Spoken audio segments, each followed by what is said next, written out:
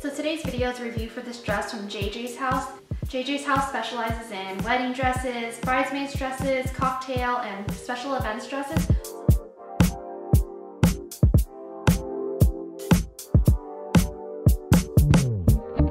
So they actually contacted me about a month and a half ago and asked if I wanted to review one of their dresses.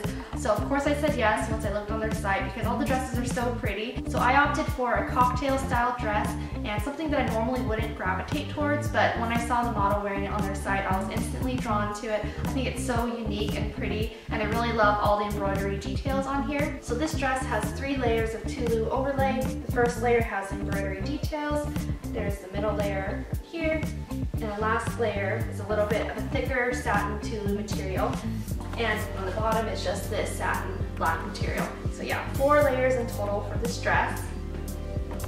The waistband has this beautiful beading and rhinestone detailing right here.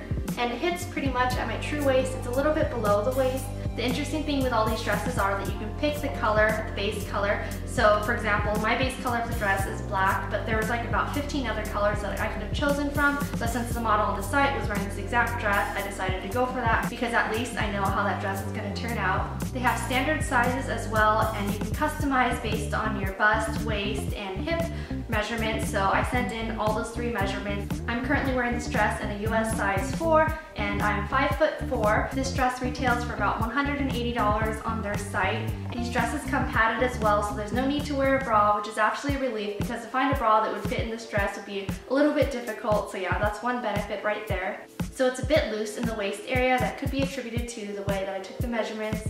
Um, but yeah, at least I'd rather have it a little bit loose than too tight and unwearable. So my dress actually arrived really quickly. It arrived within a month of me placing the order with them. So especially considering that it's from Asia, that's quite fast. Here's the packaging that the dress came in. Of course, it fit in this nicely zipped pouch, kept it nice and fresh. So anyways, that should do it for today's video. I hope you enjoyed it. And once again, big thanks to JJ's House for reaching out and sending me this dress. I really love it. So I'd recommend anyone, if they have a special event coming up and you want a unique looking dress, to check out JJ's House, especially if you want to pick your own base color for the dress and adjust your measurements and such. They're really great at doing that. And yeah, I live in the US and it took less than a month for them to ship over the dress to me. So yeah, it's quite fast because these are custom made to order dresses.